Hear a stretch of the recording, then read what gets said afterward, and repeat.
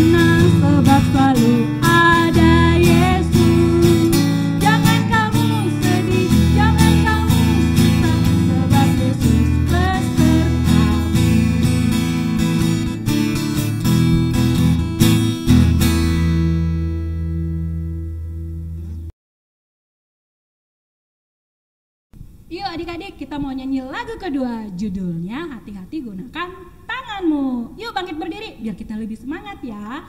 Yuk bang.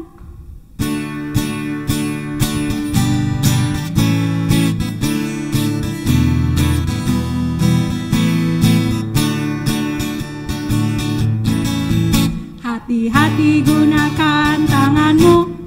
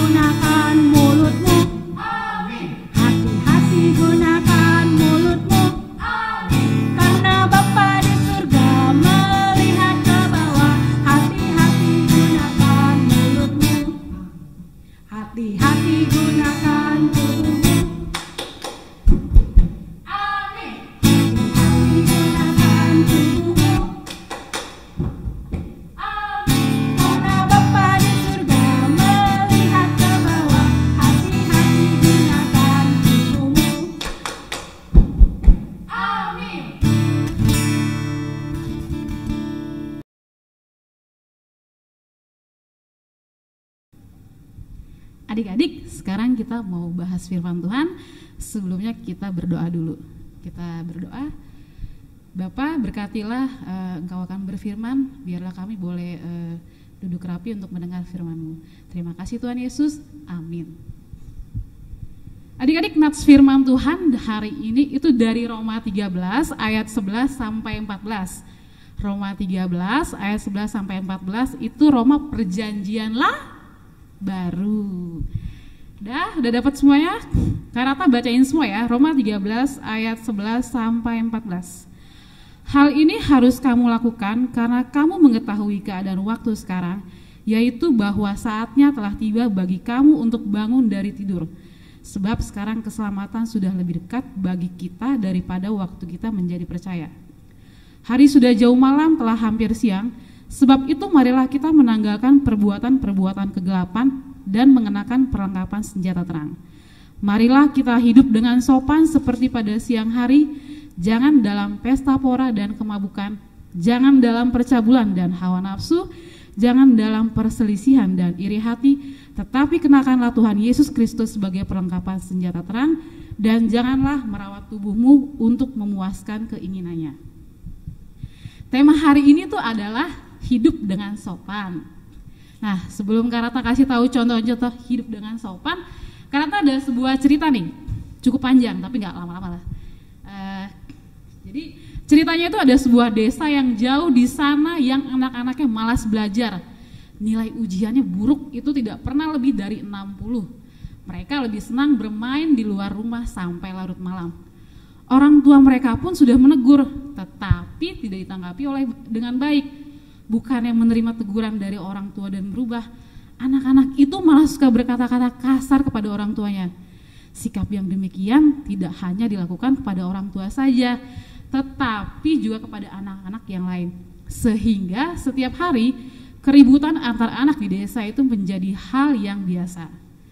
Pada suatu hari kepala desa mendapat kabar bahwa dalam beberapa waktu ke depan seorang raja akan datang ke desa itu dan memberikan hadiah istimewa kepada satu orang anak yang baik hati dan rajin belajar. Mendengar kabar tersebut, semua anak di desa itu mendadak berubah sikap dan perilakunya. Mereka menjadi rajin belajar. Semua anak di desa mendadak berubah sikap dan perilakunya. Nilai ujian mereka pun perlahan-lahan naik hampir mendekati 100. Mereka juga tidak lagi berkata-kata kasar kepada orang tua dan temannya. Dan keributan yang setiap hari pun tidak terjadi lagi. Raja yang ditunggu-tunggu datang akhirnya lebih cepat daripada waktu yang ditentukan. Kepala desa mengumpulkan semua anak di lapangan. Lalu sang raja bertanya kepada anak-anak itu, "Adik-adik, siapa di antara kalian yang baik hati dan rajin belajar?" Semua anak mengangkat tangan semuanya, "Aku raja, aku raja." Ketika sang raja bertanya lagi, "Siapa yang mau mendapat hadiah istimewa dari raja?" Anak-anak itu semakin semangat, "Aku raja, aku raja." Melihat semangat mereka, sang raja segera menyuruh anak buahnya untuk mengambil hadiah istimewa itu.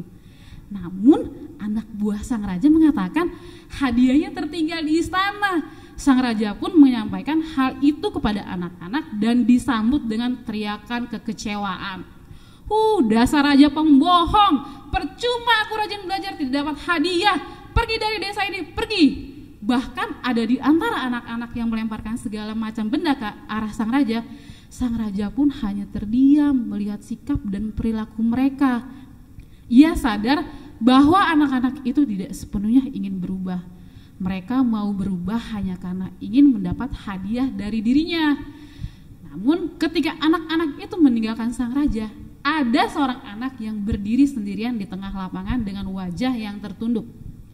Sang raja bertanya kepada anak itu, "Nak, kenapa kamu masih diam di sini sendiri? Mengapa kamu tidak ikut bersama dengan anak-anak yang lain?" Kalau kamu baik hati dan rajin belajar, aku tidak punya hadiah untukmu. Anak itu pun menjawab, "Aku tidak ingin hadiah, Raja. Aku hanya ingin menjadi anak yang baik hati dan rajin belajar." Mendengar jawaban sang anak, raja itu pun terharu dan memeluknya. Kemudian atas seizin kepala desa dan orang tuanya, sang raja mengangkat anak itu menjadi anaknya dan membawa ke kota untuk mendapatkan pendidikan dan kehidupan yang baik. Nah, dari cerita tersebut adik-adik, jadi e, contoh yang baik apa enggak kalau memang kita menginginkan sesuatu itu e, harus ada timbalannya. Jadi ceritanya ini tuh kayak e, dia tidak tulus, dia tidak baik. Nah, kalau kita memang pengen e, mendapatkan ke, kebaikan, kita juga harus kasih dengan baik hati. Nah, sekarang e, Karata mau kasih contoh-contoh nih perilaku e, baik untuk adik-adik, contoh-contohnya. Tapi emang udah biasa adik-adik juga dia lakuin sih di setiap harinya. Yang pertama di sekolah tuh jangan ribut, tapi karena sekarang lagi online, e, jadi adik-adik tuh harus e, memperhatikan guru atau misnya atau untuk yang horong satu pendam, orang tuanya juga harus didengar. Jangan tengok kanan kiri jangan teriak-teriak karena itu tidak bagus. Terus kalau misalkan di sekolah pun jangan suka naik-naik bangku harus duduk yang manis. Kalau bicara jangan suka teriak-teriak mintanya sesuatu dengan baik. Nah terus kalau adik-adik buang sampah itu juga harus pada tempatnya jangan buang sampah sembarangan. Terus simpan buku tas sendal, sepatu pada tempatnya. Karena kalau tidak pada tempatnya, Karata pernah, pernah uh, ada bukan cerita sih, memang uh, kejadian nyata. Jadi waktu Karata uh, simpan sendalnya itu berantakan, sendal Karatna digigit anjing Karatna. Karatna waktu itu kesal sekali. Nah, tapi kalau Karatna sebenarnya simpan dengan baik, berarti kan itu tidak digigit sama anjing Karatna. Terus jangan suka berbohong. Kalau memang misalkan uh, udah salah diakui dan minta maaf. Terus jangan suka berebutan mainan. Dan yang terakhir, sesuai dengan Roma 13 ayat 14, selalu kenakanlah Tuhan Yesus sebagai perlengkapan senjata terang.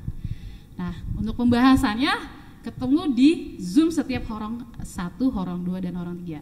Nah, sekarang kita mau berdoa untuk doa penutup. Terima kasih Tuhan untuk firman-Mu, berkati kami dalam satu minggu ke depan. Dalam nama Tuhan Yesus Kristus kami telah berdoa dan mengucap syukur. Amin.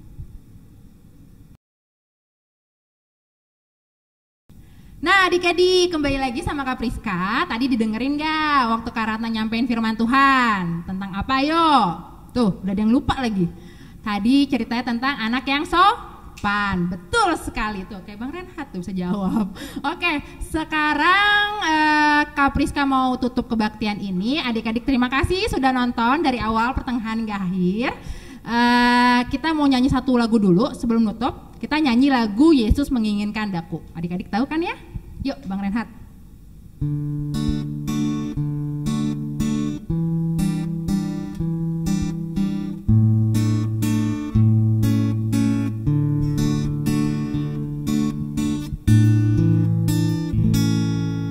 Yesus menginginkan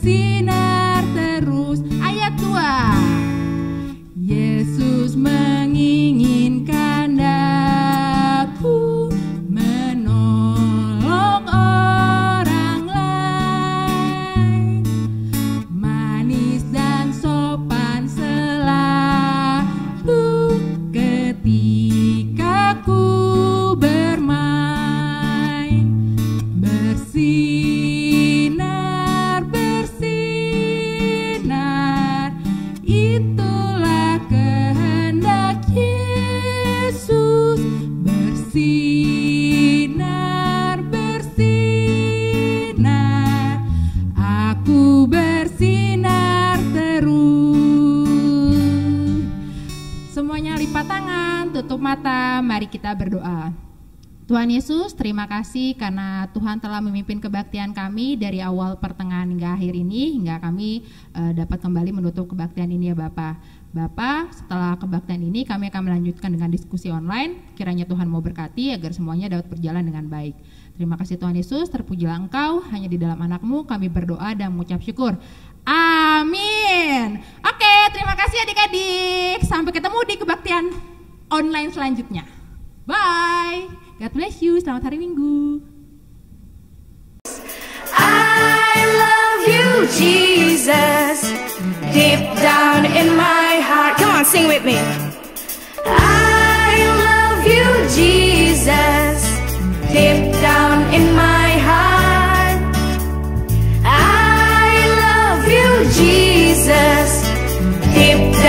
In my